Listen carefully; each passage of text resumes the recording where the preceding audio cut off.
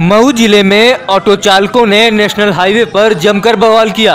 Auto चालकों का कहना था कि ठेकेदार अब तय रेट से ज़्यादा रुपए मांग रहे हैं। इसे लेकर ऑटो चालक एन एस पर हंगामा करने लगे।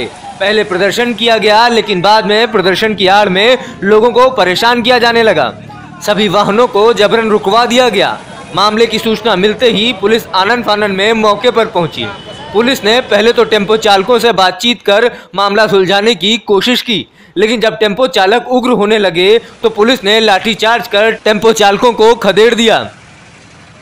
टेंपो और साथ में मैजिक इसमें की सवारियाँ बैठी हुई थी, महिलाएँ, बच्चे और ये सब जा रहे थे तो रोक रोक के उनको ड्राइवरों के साथ बदतमीजी किया जा रहा है और सड़क जाम करने का प्रयास कर रहे थे, सड़क लगभग रोक दिए थे। इस सूचना पे हम लोग आए हैं। समझाया गया, समझाने पे भी नहीं माने। अराजकता पे उतारू थे तोड़ फोड़ का गाड़ियों में प्रयास कर रहे थे। इस सूचना पे फिर उन्हें चेतावनी देके भगाया गया। पुलिस का कहना है कि टेंपो चालक पुलिस के सामने ही वाहनों पर पथराव करने की फिराक में थे। पुलिस का ये भी कहना है कि प्रदर्शन कर रहे ऑटो चालक आने जाने वाले लोगों के साथ दुर्व्यवहार कर रहे थे, जिसकी वजह से बल प्रयोग करना पड़ा।